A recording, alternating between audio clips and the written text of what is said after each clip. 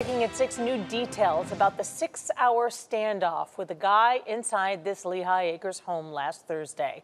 Deputies tell us today that Jason Howell was ready to ambush them with assault rifles. NBC2's Christy Soto shows you how deputies finally ended this dangerous situation.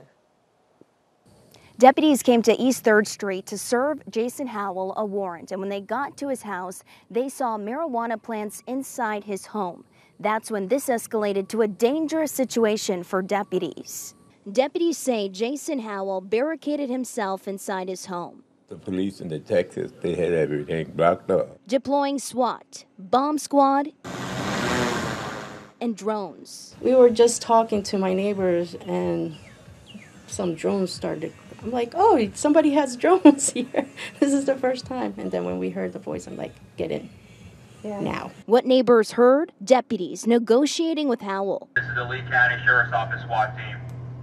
You have a warrant. Come out with your hands up. This lasted for six hours through the rain.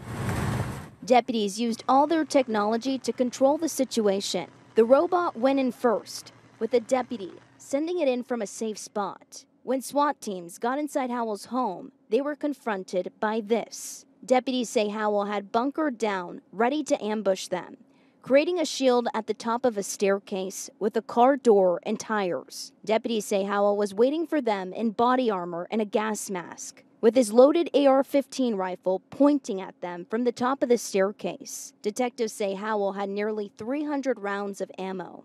That meant he could have wiped out the whole neighborhood just if he wanted to. LCSO says Howell's family has told them he will shoot anyone, but thankfully, no one was hurt. Deputies seized all of Howell's weapons you see here. Howell is out of jail. In Lehigh Acres, Christy Soto, NBC2.